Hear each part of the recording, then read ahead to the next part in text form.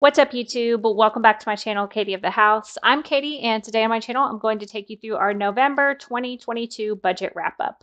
So we're going to go ahead and just jump right into it here with our income. So we did have some extra income this month for a couple of different reasons. So I will just explain it as we go through them. So my husband is the only income earner in the family and he does get paid bi-weekly. So his first paycheck, we were expecting 5200 but he actually got a raise this month and he actually brought in 54.27 so that was $227 more than we were expecting.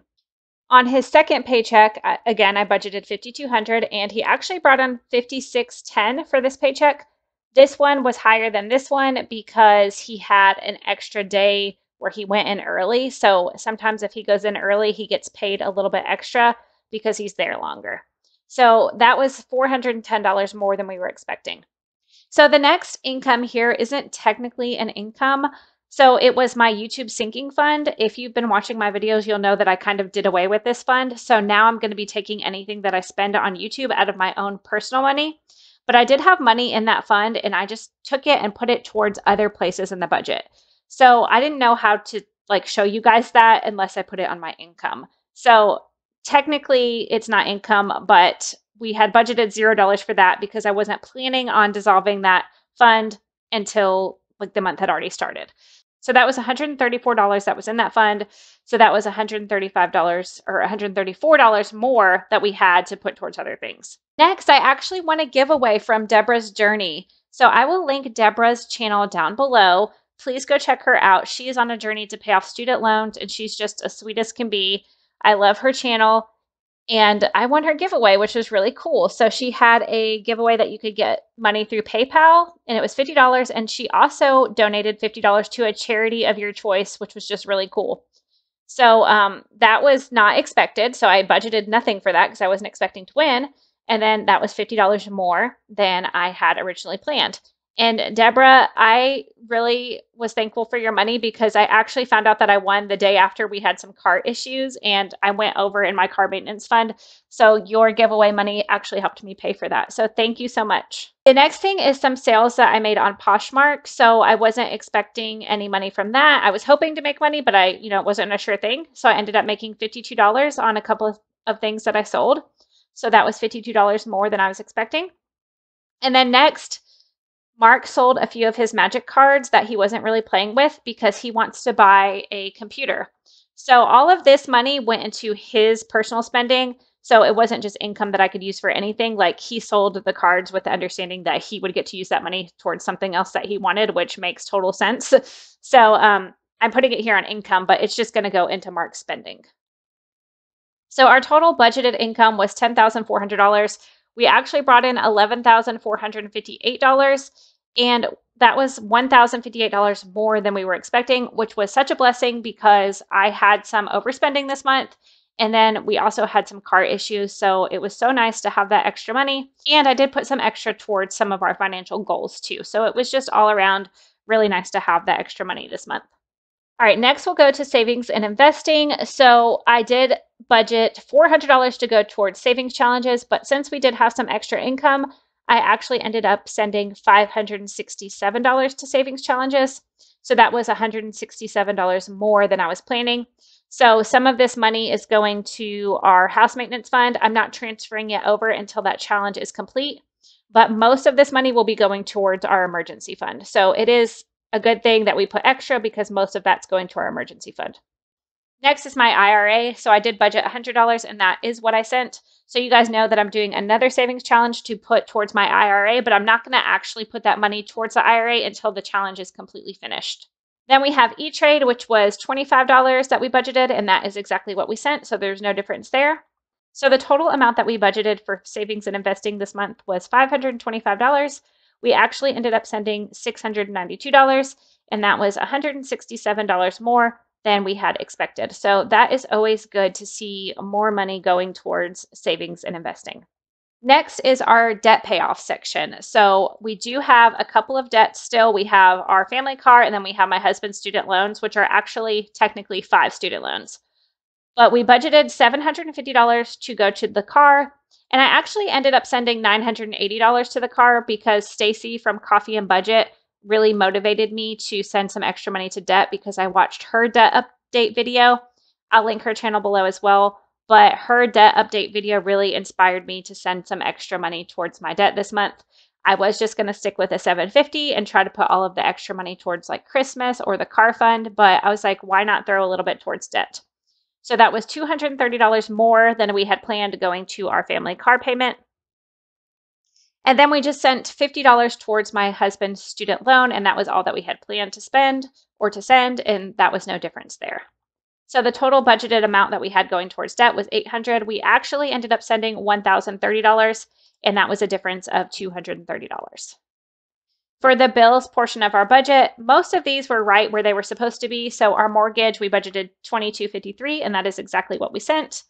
For our phones, however, we budgeted $108 and we did have data overage again this month. So that was actually $137. So that was $29 more than we had expected. And if we keep going over, I might have to look into upping our data plan because we do not have unlimited data. But the last time we looked, at the unlimited data, it was actually more than what we were paying before, and we were never going over on our data. So we're like, we're not going to, you know, pay more if we don't need it. But I think if we keep going over, then we might have to increase that. But we'll see. Um, I'm going to try to, you know, do a better job with that going forward. Next is our internet. That was 81, which is exactly what we expected. Our trash is 42, which is what we budgeted. Streaming was $100 and other was $400, and those were both what we expected. So our total budgeted for bills was $2,984. We actually ended up sending $3,013, which was $29 more than we had expected. All right, finally, we will go over to the envelope portion of our budget. So this is just all of our variable expenses that we do.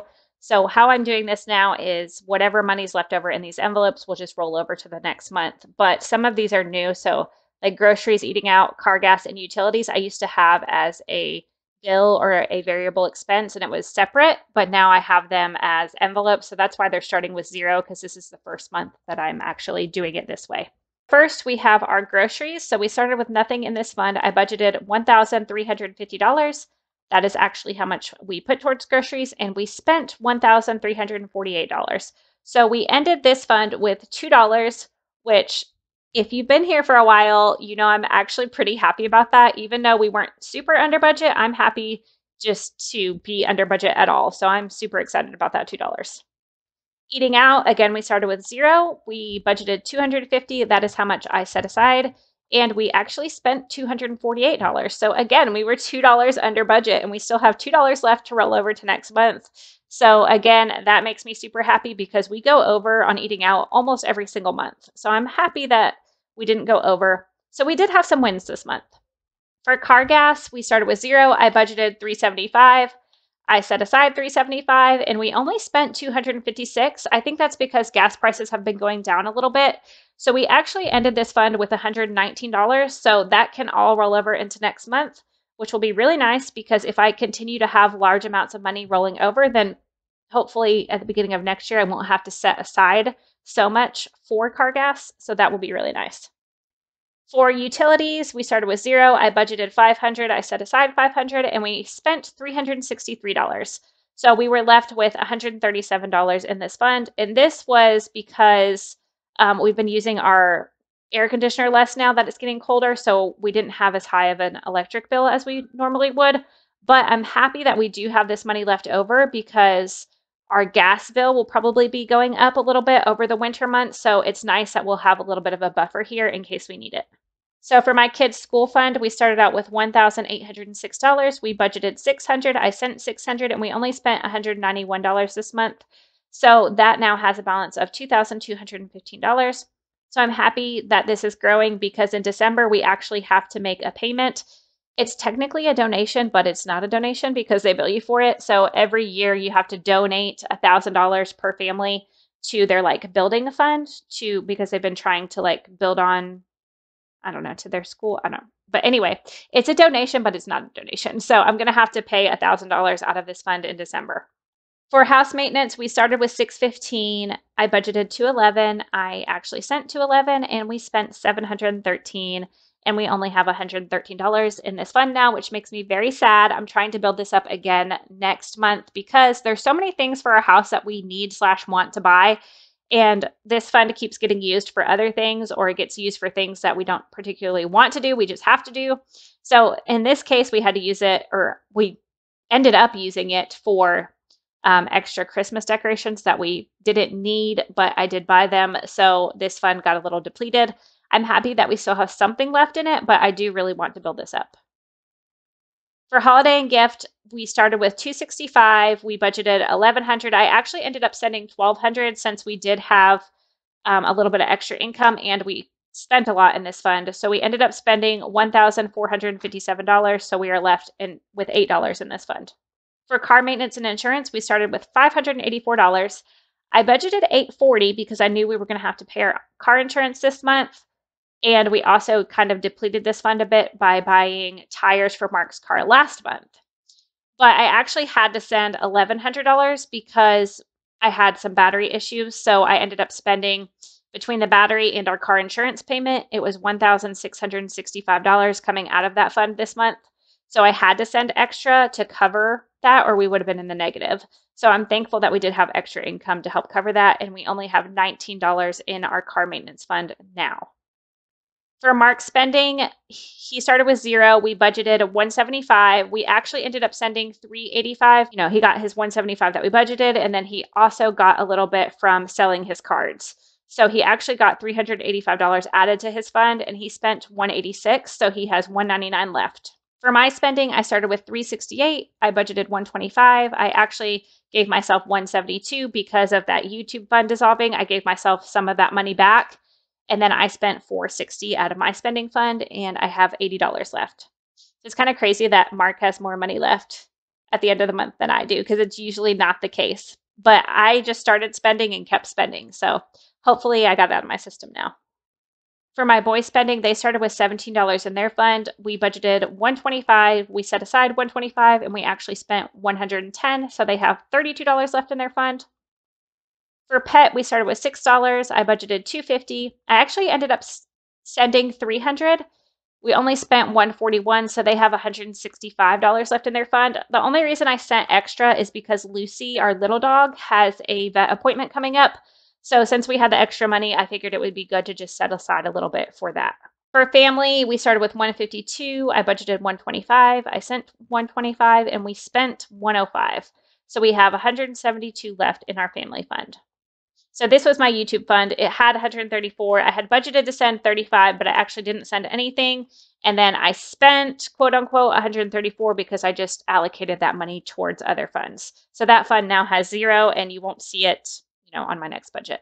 For braces for my boys, we started with 120. I budgeted 30. We sent 30. We did not spend anything and we have $150 in that fund now. So the total amount that we started with in our sinking funds was $4,067. I budgeted to send $6,091. I actually ended up sending $6,723 and we spent $7,377 out of our envelopes or sinking funds this month, which is just crazy. That's a lot of money, but most of this was Christmas shopping slash decorating, and then also all of the car things that we had that came up this month. So we ended our envelopes with a total of $3,413. So I usually like to see this number increase. So this is what we started with, this is what we ended with, but it did decrease this month. And that's just probably how it is in December when you're doing all the Christmas things. So our total actual income was $11,458. Our actual expenses were $11,458. So that is it for my November 2022 budget closeout.